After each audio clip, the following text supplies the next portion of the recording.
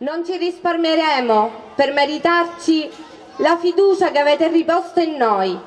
ma adesso dobbiamo fare un altro passo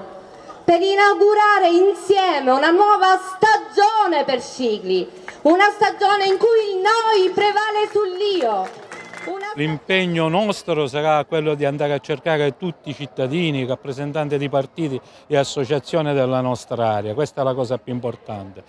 Quello che mi aspetto è che abbiamo pochissimo tempo, e dobbiamo far uscire la gente di casa e dire eh, l'importanza di questo progetto dietro a Caterina è veramente qua uno vale uno e quindi vogliamo che tutti quanti vengano a condividere i nostri progetti, a proporli e a portare avanti la città. Con il candidato avversario partiamo da 0 a 0, eh, la gente conosce l'operato, eh, soprattutto il nostro impegno dal punto di vista ambientale, le nostre scelte politiche contro l'ACIF, mentre dall'altra parte quelle scelte furono avvallate. Eh, abbiamo portato avanti il piano spiaggia e il piano regolatore, quindi con criteri molto legati all'ambiente. Se la gente vuole cambiare in maniera diversa, in peggio, non può fare altro che dare fiducia ad altri. Noi le cose le abbiamo scritte, le abbiamo scritte con la Giunta sia sul piano regolatore sia sul piano spiagge.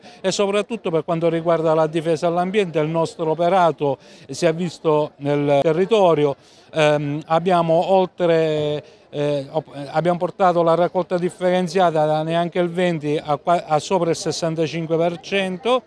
e abbiamo delle criticità che stiamo affrontando e quindi il dissesto dei bilanci eh, l'abbiamo anche questo risolto, anche se ci sono altre passività, però possiamo dire che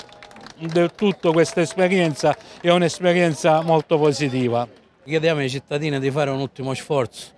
perché sì è vero che molti sono stanchi della politica, eh, del, de, de, degli intrugli che si sono visti sempre, hanno pure ragione, però dicono nello stesso tempo che astenendosi dal voto si dà forza proprio a, a tutto quello di cui si è stanchi. Eh, perché eh, vorrei dire a queste persone che la politica decide secondo per secondo la nostra vita, quindi perché lasciare eh, artefice questa cosa vista male e non prendersi la responsabilità di andare a votare? Andare a votare significa decidere per la propria vita, quindi riprendiamoci il nostro diritto.